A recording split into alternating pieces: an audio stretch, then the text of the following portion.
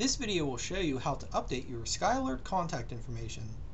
Once you log into Skyward, click the Skylert tab on the left.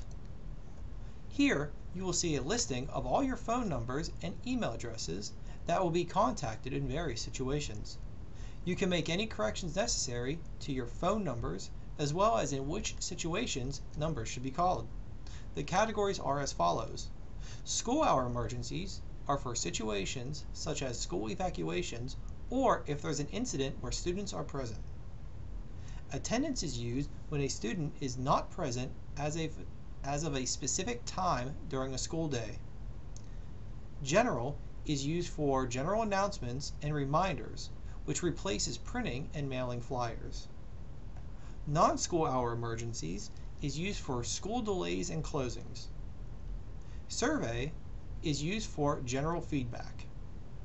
If you do not wish a number to be called by Skylert, simply uncheck all the options and the number will not be called.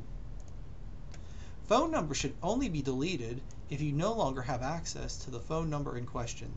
Removing phone numbers from here may prevent district staff from being able to reach you in the future. After making all necessary changes, click the Save button. Your Skylert preferences will take effect immediately. Each family member in Skyward has the ability to update and control their own set of phone numbers to be called.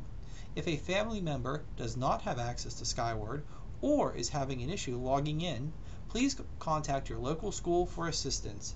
Thank you.